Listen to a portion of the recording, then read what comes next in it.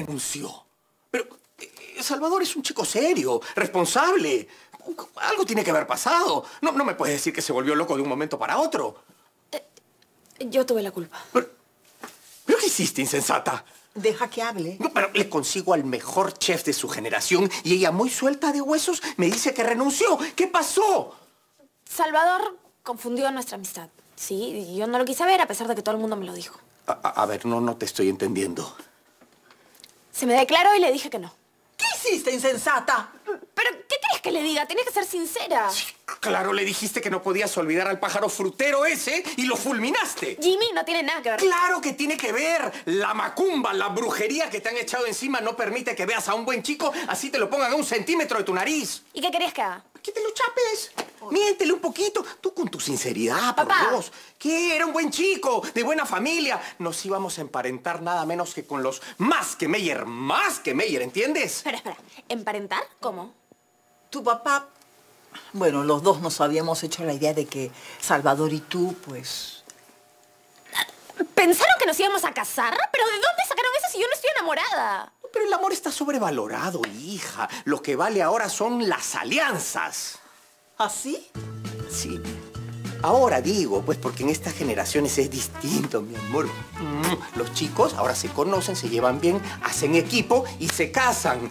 Tú y Salvador eran un buen equipo. Jamás me voy a casar con Salvador.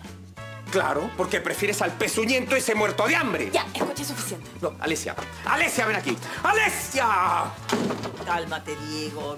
Nos apresuramos al pensar que entre Salvador y Alesia podría funcionar algo. Ahora no solamente he perdido un yerno bueno, sino también un gran chef. Pero esto no se va a quedar así. Voy a hacer mi último intento. ¿Qué vas a hacer? Voy a llamar a Madeleine. El número que ha marcado se encuentra temporalmente Claro. fuera del área ¿El teléfono está fuera de servicio? Debe estar en algún lugar de ensueño.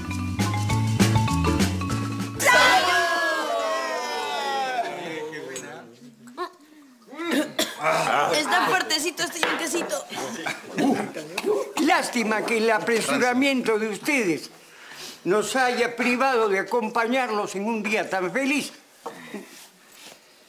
Pero no soy tan upa como para que el rencor me ciegue eh, y no vea que están arrepentidos de haberlo hecho de esa manera. Gaspar puede venir a vivir a esta casa después del matrimonio.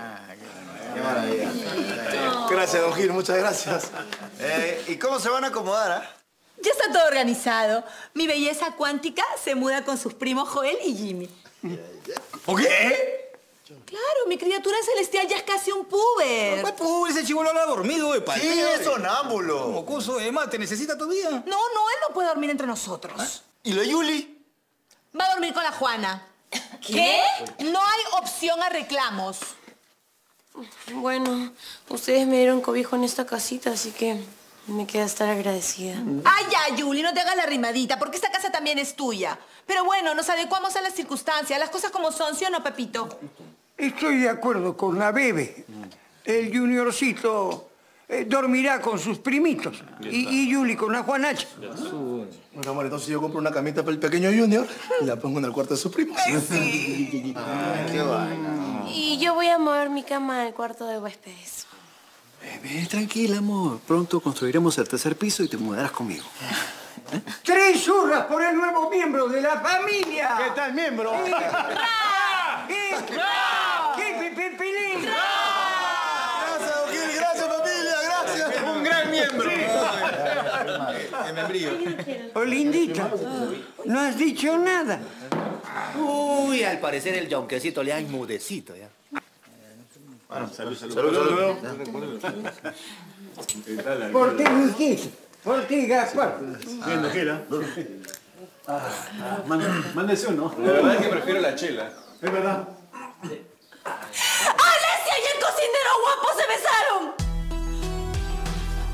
¿Que el atrasador del Jimmy y la señorita Alesia se han besado? Sí, los vi en la cocina del Francescas. Perdón, ustedes saben cómo me pongo con el chisme. Jimmycito No sabes cuánto lo siento.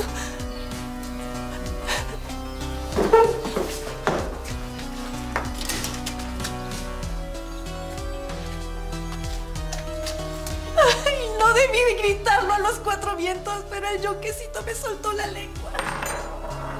¡Alesia! ¡Alesia! ¿Qué haces? ¿Qué haces? Tú la- tú- Mano, déjame, ya te No, voy a poner. por arrebatar- No, no, no, no. Ratatouille va a llamar a la policía. Cálmate. ¿Qué pasa? Escuché gritos. Acaba de enterarme que la Alesia estuvo chapando con el cocinero ese. Tengo que hablar con No, ella. no, no, ¡Sí, no, Alesia! eh, eh, eh, eh, eh.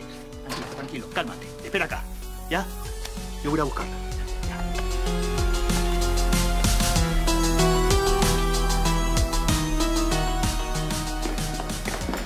¿Ahora qué querés, dime? Quiero hablar contigo. Y tranquilo, por favor. Sí.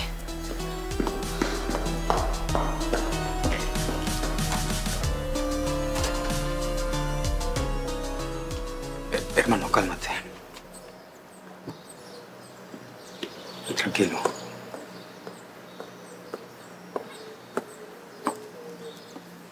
Mano, déjanos solo, por favor.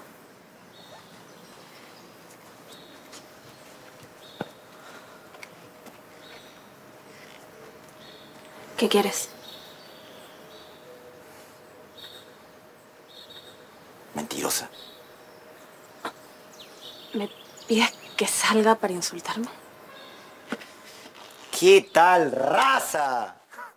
O sea, me reclamas porque me ves con Lola y tú desde hace cuando estás besuqueándote con ese. ¿Besuqueándome? ¿Lo vas a negar? Olinda los vio. Te fue a buscar a Francescas. ¿Sabes para qué? Para que nos reconciliemos. Y se topó con semejante espectáculo, Alesia. Sí, sí. Mira, no sé qué vio Linda, pero esta escena solo demuestra que no tienes idea de quién soy. Basta, basta, basta, basta. Ya estoy cansado. Deja de hacerte la víctima. ¿Por qué no aceptas de una maldita vez que hace tiempo estás con él? ¿Ah? Yo lo sabía, por eso me volví loco. ¿Qué estás hablando, idiota? Yo los vi bailando en ese video y no me equivoqué. Claudio tampoco, él tenía razón.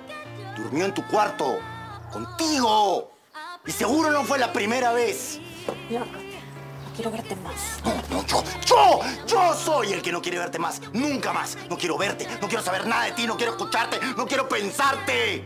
Vete al infierno, tú y tu cocinerito.